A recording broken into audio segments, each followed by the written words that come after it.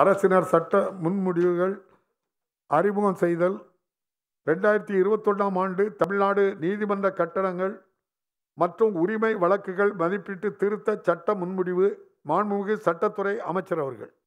தொடக்க நாளிலே நான் ஒரு கருத்தை இங்கே எடுத்துச் சொல்ல வேண்டும் என்று நினைத்திருந்தேன்.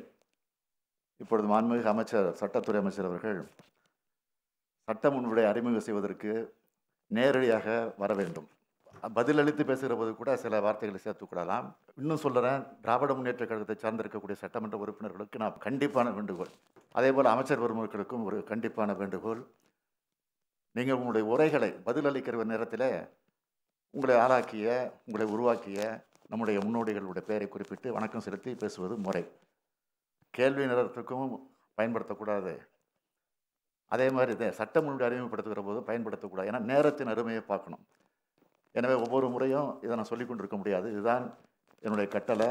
இங்கே இருக்கக்கூடிய அமைச்சர்களுக்கு இங்கே இருக்கக்கூடிய ஆளுங்கட்சி சட்டமன்ற உறுப்பினர்களுக்கு என்பதை தெரிவித்துக் கொள்கிறேன். மாண்புமிகு பேரவைத் தலைவர் அவர்களே சட்ட முன்வடிவை அறிமுகம் செய்கின்றேன். ரெண்டாயிரத்தி இருபத்தி ஒன்றாம் ஆண்டு பதிவு தமிழ்நாடு திருத்த சட்ட முன்வடிவு மாண்புமிகு வணிக வரி மற்றும் பதிவுத்துறை அமைச்சர் அவர்கள். மாண்புமிகு பேரவைத் தலைவர் அவர்களே மேற்படி சட்ட முன்வடிவை அறிமுகம் செய்கிறேன்.